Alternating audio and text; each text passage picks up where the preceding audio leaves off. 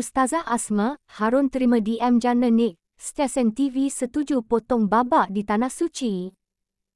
Pendakwa terkenal, Ustazah Asma, Harun memuji sikap pelakon, Jana Nick yang menerima teguran dengan hati terbuka susulan babak yang tidak bersesuaian di hadapan makam Rasulullah dan Tanah Haram di dalam drama Surat dari Tuhan. Menurut Ustazah Asma, dia telah menerima mesej pribadi daripada Jannah yang mengakui ilafnya itu. Hari itu, kita ada buat teguran berkaitan satu skrip drama di Tanah Suci yang menyebutkan tentang makam Nabi dan Tanah Haram. Alhamdulillah, mesej tersebut telah sampai ke pihak sepatutnya. Saya juga mendapat direct message, DM, di Instagram daripada saudari Janani. Beliau menuliskan mesej dengan sangat baik, bagus dan berhemah. Di situlah saya merasakan betapa hebatnya Janani. Walaupun berada dalam situasi tertekan, dia masih boleh menulis dan menyusun kata-kata yang sangat baik kepada saya, katanya. Ustazah Asma berkongsi perkara tersebut menerusi sebuah video di saluran YouTube miliknya pada Jumaat.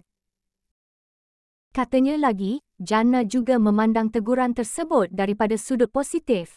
Kami mula berbalas-balas DM. Jannah memaklumkan dirinya memang mengikuti perkembangan saya. Dia juga sedih dengan situasi yang berlaku dan dia turut mendoakan saya. Dia akui dirinya hamba, pendosa dan insan yang lemah.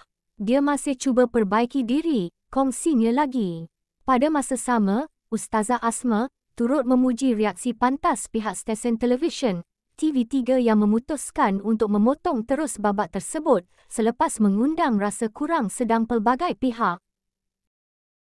Selepas kita membuat teguran tersebut secara langsung Alhamdulillah, pihak TV3 pun mengambil maklum. Mereka bagi tahu yang mereka sudah potong babak tersebut.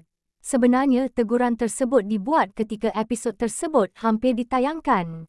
Bila kita buat teguran, mereka cepat ambil tindakan, ujar lagi.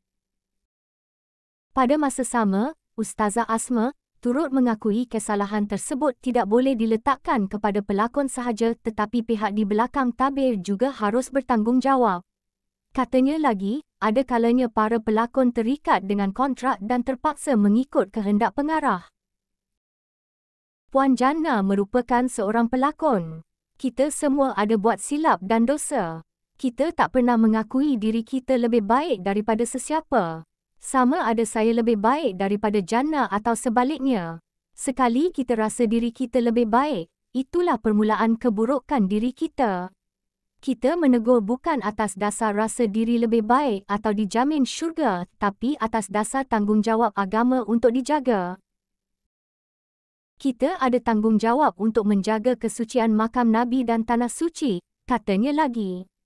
Terdahulu, menerusi sebuah hantaran di platform media sosial, Ustazah Asma telah menegur salah satu babak di dalam drama baharu terbitan stesen televisyen swasta. Teguran tersebut difahamkan merujuk kepada babak yang dilakonkan oleh Jannah dan pelakon Sheila Mambo.